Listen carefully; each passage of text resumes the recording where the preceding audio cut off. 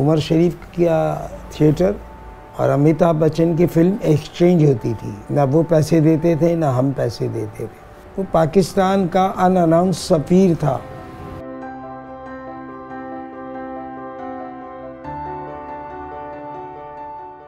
उमर शरीफ का सफ़र इतना तल्ख और इतना सख्त था कि कोई और होता तो शोबीस की दुनिया की तरफ़ पलट कर भी ना देखता। वो लड़कपन था उसका जब उमर शरीफ से मेरी मुलाकात हुई। और उस ज़माने में वो दिन में किसी कारखाने में काम करता था और शाम को थिएटर करता था।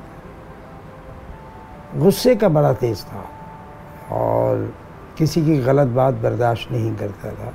असल में हुआ ये था कि खेल था, किसको कह रहे हो, जो रिकॉर्ड हुआ था।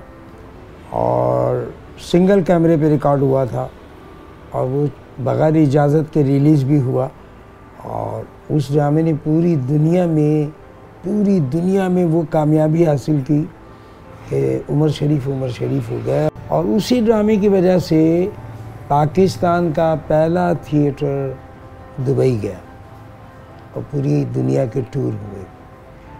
और उसी हवाले से फिर हमने वो ड्रामे रिकॉर्ड करने शुरू किए फिर थिएटर हमने रिकॉर्ड करने शुरू किए जब थिएटर की मकबूलियत बढ़ी तो एक कंपनी थी ईगल ताहिर वो उस ज़माने में बहुत बड़े बड़े फ़नकार उसके क्रेडिट में तो उन्होंने आके बात की उमर शरीफ से। उमर शरीफ ने कहा कि हाँ हाँ करेंगे, बिल्कुल करेंगे, क्यों नहीं करेंगे? फिर हम चले गए और कैसेट रिकॉर्ड हुई और उस ऑडियो कैसेट ने भी पूरी दुनिया में तहलका मचा दिया। यानी गली गली घर घर में वो ऑडियो कैसेट सुनी जाती थी। इसमें एक एक लाइन एक एक सिचुएशन उमर शरीफ की थी। ऑडियो कैसेट ने तूफ़ान मचा दिया। हालाँकि वो हमारे किए हुए थिएटर के पोर्शन थे, लेकिन उमर शरीफ के थे। इंडिया का तो मामला ये उस ज़माने में ये था कि उमर शरीफ का थिएटर और अमिताभ बच्चन की फ़िल्म एक्सचेंज होती थी। ना वो पैसे देते थे, ना हम पैसे देते थे। कई फ़िल्में ऐसी हैं जो वहाँ के बड़े बड़े स्टार्स की फ़िल्में पाकिस्तानियों ने उमर शरीफ की कैसेट दी और उनसे कैसेट भी दी ये भाव था उमर शरीफ का।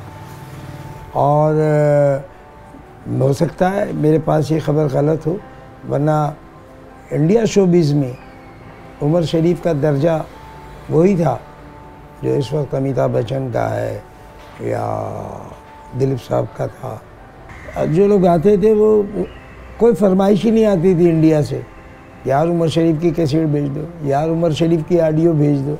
भाई, यही फरमाइश आती थी। वो पाकिस्तान का अनअनाउंस सफ़ीर था। उमर शरीफ साहब फ़िल्म अदी बोलने के बादशाह थे। और अब तो ये एक्सट्रम्पोर जो है, ये पढ़ाया जा रहा है अकेडमीज़ में।